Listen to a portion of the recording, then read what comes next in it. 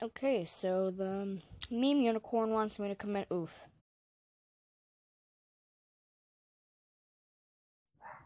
Oh no. Oh no. Oh no.